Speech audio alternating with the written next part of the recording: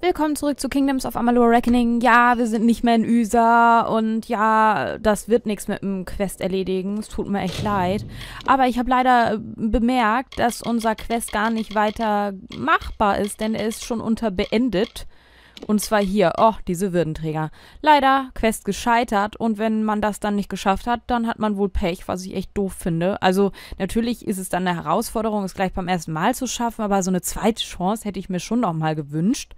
Ähm, Gerade weil, weil es ja auch keinen Notizzettel jetzt gab oder so. Also ich weiß nicht, ob sie da was reingeschrieben hatte in den Quest, ähm, ob wir da, mh, hm, ja, ob wir da irgendwas stehen hatten, wo ich jetzt nicht nachgeguckt hatte, aber ich habe trotz dessen oder nichtsdestotrotz äh, habe ich äh, selber mir noch Notizen gemacht gehabt und einfach meine alte Aufnahme geguckt. Ich habe auch versucht, nochmal neu zu laden, aber ich hatte davor irgendwie nicht nochmal speziell abgespeichert.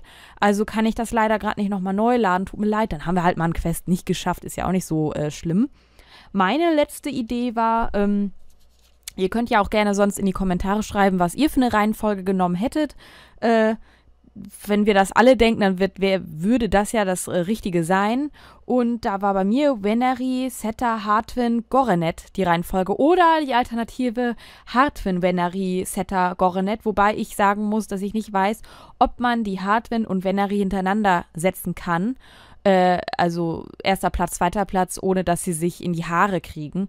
Ähm, guckt doch selber nochmal nach, schreibt mir es gerne in die Kommentare, was ihr denkt, wie die richtige Reihenfolge gewesen wäre. Venery, Sette, Hartwin, Goronet, denke ich, wäre gut gewesen. Äh, mein Fehler war, glaube ich, dass ich Goronet nicht ans Ende gesetzt habe, weil er selber gesagt hat, ich gehe nach ganz hinten. Und da hatte ich aber ja trotzdem auch mit der Veneri, äh, die habe ich nach vorne gesetzt. Also vielleicht war da der Fehler.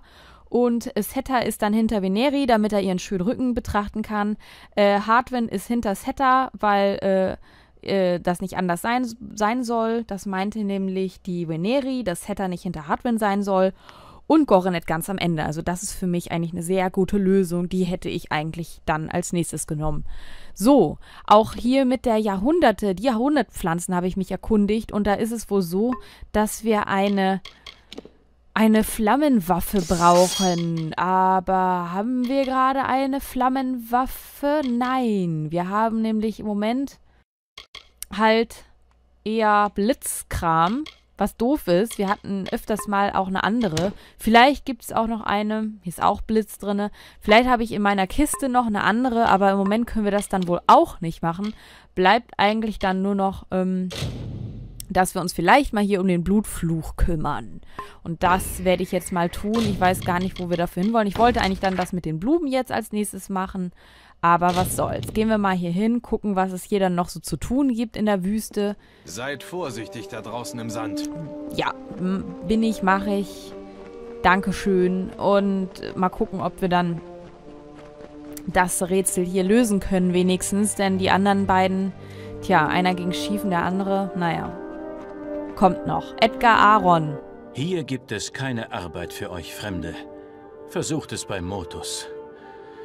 Bei uns gibt es nichts zu tun. Ich brauche Wissen über den Krudok. Kapstan schickt euch zu mir, ja?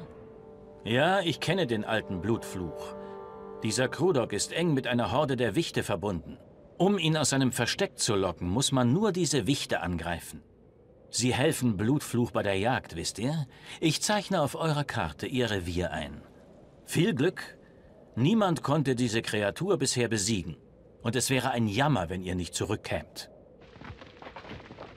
Ich habe eine kleine Armee von Gnomen angeheuert, um mir mit der Mine zu helfen. Es hat viel Geld gekostet, sie herzubringen und ihnen ein ordentliches Leben zu bieten. Und dann wagen es diese miesen Dreckskerle, mich wegen Motos im Stich zu lassen. Ich habe viel Zeit hier in den Brachlanden verbracht und mich von dem ernährt, was Boden und Tierwelt zu bieten haben. Als ich die Mineralvorkommen entdeckt hatte, war ich sicher, es endlich geschafft zu haben. Ich weiß nicht, was ich tun soll jetzt, da Motus mir meine Arbeiter gestohlen hat. Aber mir fällt schon etwas ein. Eines Tages wird Motus dafür bezahlen. Vielleicht lassen wir ihn ja dafür bezahlen. Tja, wie? Ich kann, ich habe hier ein Zuhause. Echt jetzt? Büro von Aaron Ausgrabungen oder was? Verschlossen. Kann er mit dem richtigen... Aha. Aber das könnte ein Zuhause von mir werden, wenn ich das richtig sehe. Das ist nämlich ein Häuschensymbol. Aha. Okay. Dann gehen wir mal hier hin in, zum Schattendorn. Dann sind wir ein bisschen schneller hier. Gott sei Dank bin ich ja schon ein bisschen hier rumgelaufen. Da sollte das nicht zu lange da... Komme ich jetzt hier rein oder raus? Raus, okay. Äh, hier rum, da rum, hier rum, la rum, Löffelstiel. Und dann laufe ich mal eine Runde rum. Kann ich gar nicht. Ich kann hier nicht lang. Ach, da kann man runterspringen. Und das ist ja doof. Komme ich dann dahin? Kann ich hier so einen Pfad hochlaufen? Da komme ich doch aber gerade her. Menno. Bin ich jetzt doch doof gelaufen? Nö. Nö, das sieht doch gut aus. Guck mal, hier liegt auch noch ein bisschen was. Nein, ich wollte das Weichkrabbelpulver überhaupt nicht. Och, Manno. So, hier sollen wir hin. Oh, guck mal hier. Die Boggarts. Die kleinen Knuffis. Sitzen die da. Wick, wick, wick, wick.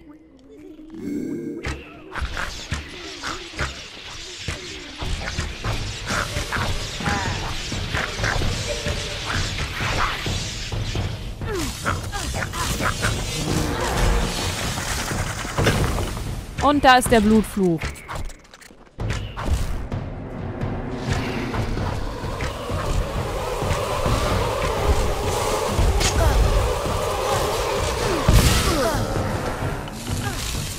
Machen wir doch mal wieder ein bisschen Mega-Power hier.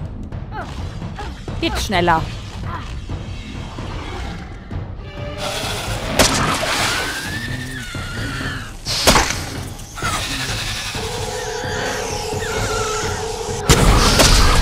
Und wieder die Maus 2. Ich verstehe es nicht. Ich habe sie aber noch schnell versucht zu drücken, aber ich finde es ein bisschen hohl. Wo es doch nun langsam klar ist, dass ich hier nicht mit Maus spiele. Naja. Muss man nicht verstehen. Ah, hier haben wir noch einen Stein. Ein Feuer aus den Himmeln traf seiner und ihr Gefieder begann zu brennen. Sie flog hoch hinauf, um ihre Federn zu kühlen, und stürzte hinab, um das Feuer zu löschen. Doch nichts verschaffte ihr Linderung. Sie wusste, sie war verloren und sog die Hitze der Sonne und den Geist des Feuers ein, ehe sie tot zu Boden fiel. Nun blieben nur ihre Knochen zurück, doch sie wird sich wieder erheben, wenn in den Brachlanden Leben bedroht wird. Mhm. Blutfluch haben wir auf jeden Fall getötet. Aber so schwer war der ja jetzt auch nicht gut. Wir sind, wie gesagt, wir sind stärker geworden. Und deswegen ist das natürlich alles gar nicht mehr so schwierig. Wenn die mir folgen, dann... Ne, die folgen mir aber nicht. Das finde ich gut. Dann laufen wir mal hier schnell zurück. Mal gucken, ob das denn dann schon mal geholfen hat hier in der Gegend. Und wieder die heroische Wüstenmusik. Denn wir haben ja auch getan, was wir tun sollten. So, gehen wir mal hier rein und erzählen das. Hallo. Hallo. Hier aufwachen. Capstan Ottwar. Ich hatte gehofft, ihr würdet wiederkommen. Die Arbeiter haben von Blutfluch nichts gehört und nichts gesehen, seit ihr in die Wüste gezogen seid. Das heißt, sie können mit der Arbeit in der Dünenkopfmine beginnen. Und ihr habt eure Belohnung verdient. Okay. Danke, dass ihr uns von dieser Bedrohung befreit habt. Wärt ihr nicht gekommen, wo wären wir dann wohl jetzt? Weiß auch nicht. Vermutlich im Bauch dieser Bestie. Ja, bestimmt. Falls die so etwas überhaupt hatte. Genau. Ihr seid jederzeit willkommen, meine Liebe. Obwohl man hier nicht viel tun kann, außer Steine zu klopfen. Ihr seht zwar aus, als könntet ihr auf euch selbst aufpassen, aber ihr solltet da draußen trotzdem Ja, vorsichtig ich sein. weiß. Mache ich schon. Gut, dann haben wir das ja jetzt auch gelöst. Ja, ja, ein Quest und so. Als nächstes, wenn wir ja das jetzt erledigt haben. Huch, was will er denn jetzt noch wieder? Schon wieder was? Zum Glück seid ihr hier. Meine Bergarbeiter, sie haben den Verstand verloren. Bei meinem Bart. Gerade als beide Minen wieder in Betrieb genommen werden konnten. Die Wahnsinnigen sind in die Wüste geflohen. Ich wollte einen von ihnen aufhalten, aber seine Augen waren leer. Nur ein seltsames Licht schien dahinter. Er sah aus, als sei er verflucht. Das ist das Werk dieses Fein, der auf dem Hügel am Rand der Stadt sitzt. Wenn ihr diesen Fein findet und den Fluch brecht, werde ich euch großzügig belohnen. Ach, brauche ich doch gar nicht. Dieser Pfeil steckt hinter allem. Verdammt richtig. Es gibt keine andere Erklärung. Er nennt sich Kalova. Ein recht höflicher Bursche, aber ich habe ihm nie über den Weg getraut. Als wir hier den Betrieb aufgenommen haben, ist er alle Nase lang aus dem Sand aufgetaucht und wollte uns überreden zu verschwinden. Jetzt ist es offensichtlich. Er war sicher auch für die anderen Probleme verantwortlich. Kudok, der Angriff auf Schluchtbühl, all das stinkt nach Feinmagie. Sag mir nur, wo ich hingehen muss. Kalova beobachtet die Mine von seinem Sitz auf einem Hügel im Süden aus. Ihr findet ihn dort. Okay, was, ja, was mit den Arbeitern passiert? Habt ihr mich nicht gehört? Ja, Sie gut, sind- alles ich klar. wollte einfach... Ich würde mein Bart... Bla bla. Nichts Gut, dann, äh... Nichts. Ja, komm nun, reg dich mal ab. Ich meine, wir haben dir vorhin auch geholfen, dann kriegen wir das wohl auch noch hin, wa? So, Gott sei Dank ist das ja nicht weit hier anscheinend. Ach, der ist aber da oben. Moment, ich laufe mal den Hügel eben hoch. Außerdem müsste das doch dieselbe Stelle sein, wo wir damals... Nee, das war woanders. Jedenfalls wollte ich da auch als nächstes hin. Sowieso. Ich wollte... Ja, guck mal, hier, er hier, hä? Seid gegrüßt, Sterbliche. Äh, Du bist das ja, ach ja. Was tut ihr hier, Sterbliche? Ich ertrage kein weiteres Kind des Staubs. Ich habe genug von euresgleichen. Vor allem von jenen, die sich Edgar Aaron nennen. Moment mal, aber für den sollen wir doch auch noch das mit den Blumen machen. Wenn wir den jetzt töten, was ist dann? Habt ihr die Bergarbeiter verhext? Was hat Edgar getan? Was für eine bizarre Frage. Das Leid eurer Arbeiter ist nicht mein Werk. Wenn ihr ihre Lage verbessern wollt, haben wir einen gemeinsamen Feind. Der Sterbliche, der sich Edgar Aaron nennt, ist der Schuldige. Um die Arbeiter von ihrem Fluch zu befreien, ist ein Feinrelikt nötig, das ich diesem Sterblichen gegeben habe. Nehmt ihm das Relikt ab und sucht eure Arbeiter. Nur so könnt ihr sie von ihrem Wahnsinn befreien. Was ist denn... Wo ist Edgar Aaron jetzt? Er ist in seine Mine geflohen. Wenn ihr wirklich die kleinen Sterblichen retten wollt, die durch den Sand irren, müsst ihr ihm mein Relikt abnehmen. Bringt es mir zurück, wenn ihr es habt. Ja, ja, großes Unheil, ganz wohl. schrecklich und so. Gut, dann jump ich mal wieder hier runter. Ist der schnellere Weg, würde ich sagen. Und dann... Oh, und dabei wollte ich doch woanders hin. Ich wollte in diese Stadt, wollte ich sagen. In diese eine Stadt, wo die Fein oben standen, und die dann... Nee, es waren ja irgendwelche Banditen, Schurken, Idioten, die auf jeden Fall das ganze Dorf ja abgemetzelt hatten. Und da äh, frage ich mich, die wollten bestimmt, dass wir die auch töten, was wir ja gleich getan haben. Und deswegen würde ich da auch noch mal gerne gucken, was da für Nebenquests sind. So, und was ist jetzt hier? Wo bin ich denn hier? Ach so, in den Aaron-Ausgrabungen. Ah, alles klar. Ja, dann schauen wir mal, was wir hier so finden. Für Artefakte und so. Vielleicht finden wir ja noch anderes Schönes. Was uns bei den wirklichen Kämpfen helfen wird. Ihr habt mich gefunden, Fremde. Ihr habt mit Kalova gesprochen, ja? Wie ich höre, habt ihr für Motus einige Feuer gelöscht. Was kann ich dieses Mal für euch tun? Wozu die Bergarbeiter verletzen? Ihr habt den Arbeitern etwas angetan. Ich dachte, ich sah euch die Klippe erklimmen. Ihr habt Kalova besucht, ja? Er hat nicht gelogen. Ich wollte Motus ruinieren. Aber ich wollte nie, dass es so weit kommt. Verdammt sei die Sturheit Apules. Wie konnte er es wagen, in mein Revier einzudringen? Wenn er gegangen wäre, wäre niemand zu Schaden gekommen. Ja, ja. Gebt mir den Stein. Pff, wollen wir es mal versuchen? Wie wäre es, War wenn ich klar. den Stein behalte und ihn dazu benutze, um meine Feienfreunde auf euch zu hetzen? Tötet diese Pest, Ach komm.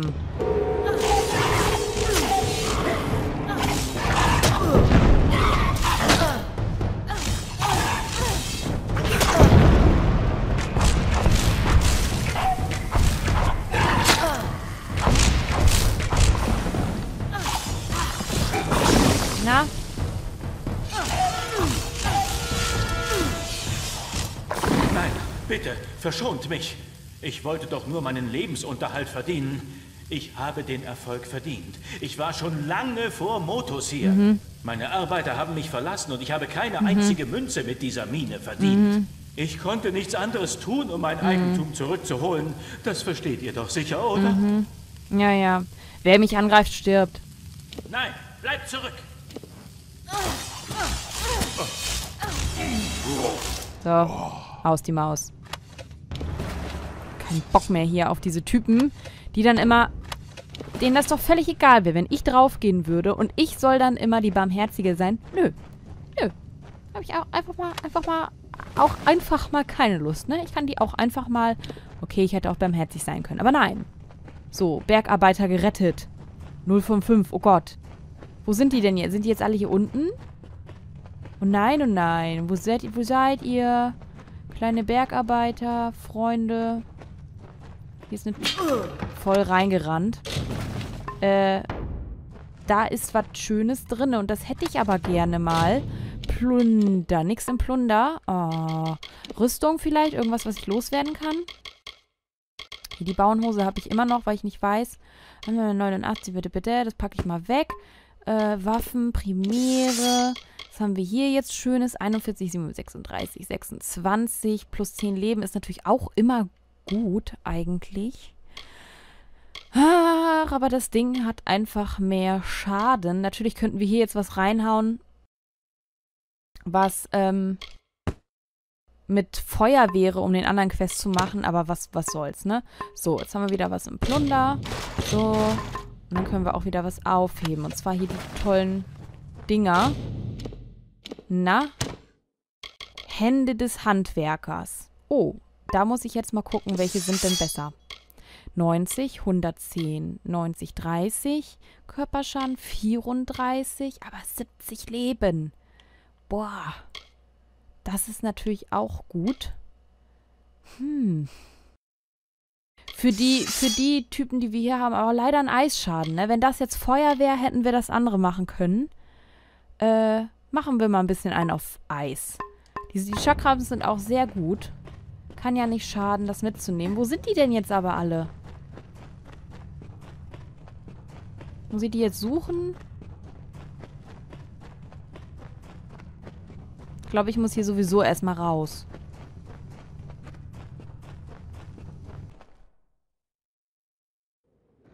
Ach so, da. Na klar, die sind ja da draußen. Ich dachte schon, die wären jetzt da drinne, aber dafür ist die Mine auch irgendwie viel zu klein gewesen. Ja, dann wollen wir die mal suchen, ne? Und mal einen Trunk nehmen. Die gelben Kringel, da wird uns ja wohl irgendjemand vor die Füße latschen. Sind die schnell oder sind die weit weg?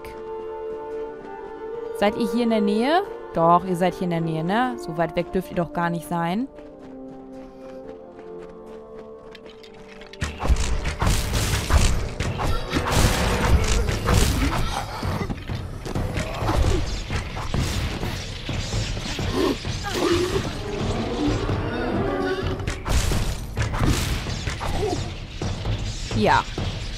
So. Auch immer euer Weichkrabbelpulver. Brauchen die das irgendwie zum Leben oder warum schleppen die das alle immer mit sich herum, dieses Pulver? Was macht man damit überhaupt? Naja, meine Alchemie ist ja auch noch nicht so gut ausgereift. Ich habe keine Ahnung, was man mit Weichkrabbelpulver macht. Hier haben wir schon mal jemanden. Wer ist das denn? Bergarbeiter. Guck mal. Beim Mond! Woher kommen diese Gazellen? Oh, Ich. Was habe ich eben gesagt? wo die Gazellen sind. Ach, ich habe denen jetzt geholfen schon. Automatisch. Oh, das ist ja praktisch. Und er hat eine trübe Eisscherbe. Mitgenommen in den Tod. Na gut, dann äh, wollen wir mal weitersuchen. Bestimmt ist einer oben und einer unten, ne? Ach ja. Immer diese Sucherei. Da wird der nächste sein. Da. Bist du schon. Wohin wollt ihr mit meiner Picke, Halunke? Ich, äh, nein. Wo bin ich? Ich schwöre, dass ich nie wieder detrianisches Bier trinke. Ja. Was auch immer das ist. Da ist der nächste. Mir ist noch nie aufgefallen, wie nah der Boden am Himmel ist. Jetzt weiß ich es und werde es nie wieder vergessen. Moment, was habe ich gerade gesagt? Oh weh, ich muss fort. Ja, schnell wieder zurück. Ab, Marsch ins Bett. Weg von dem äh, merkwürdigen Bier. Äh, wo gehe ich jetzt als nächstes hin? Welcher ist denn äh, dann... Oh, warum, und warum sind die immer wieder da? Ach, weil die ja immer auferstehen, ne?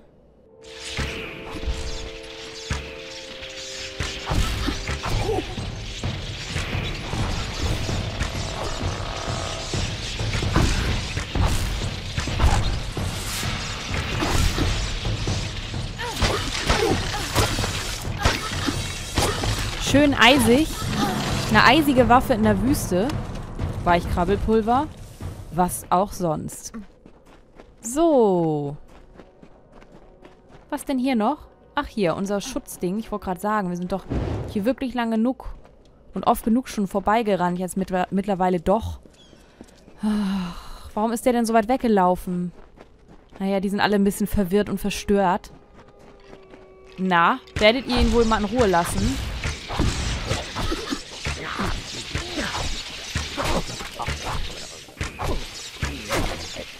Der ist doch verwirrt, der merkt das doch nicht. Ich könnte schwören, dass hier eben noch ein See war. Was? Was ist geschehen? Was zum Donnerwetter ist das? Ja, das war ich, wie ich dich geheilt habe.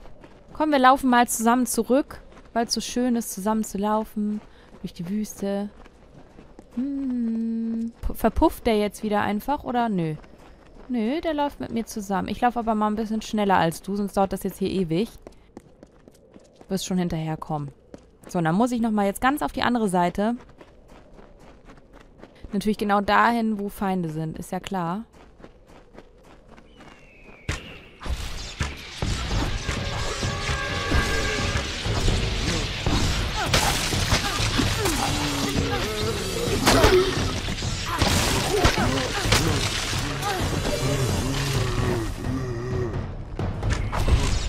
Bitte auf Distanz.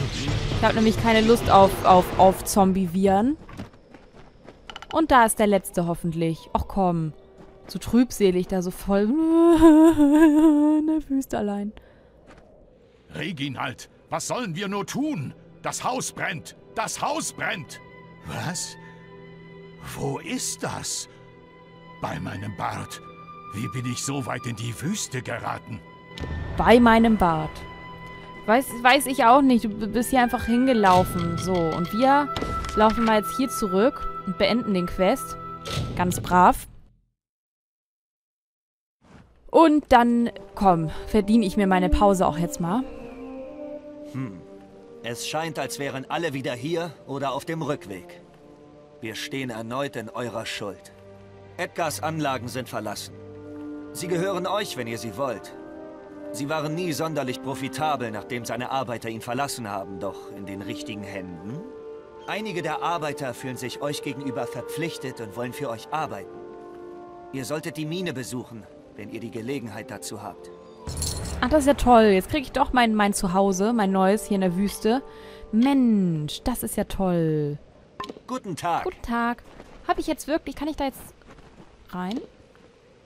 Bergleute im Sand. Kalova Relikt übergeben. Ja, ganz bin ich ja noch nicht fertig. Aber immerhin, ne? Immerhin. So, jetzt muss ich hier wieder den Hügel hoch. Gott sei Dank dauert das ja nicht so lange, obwohl ich jetzt gerne den Part beendet hätte, aber nein. Müssen wir hier nochmal schnell hier.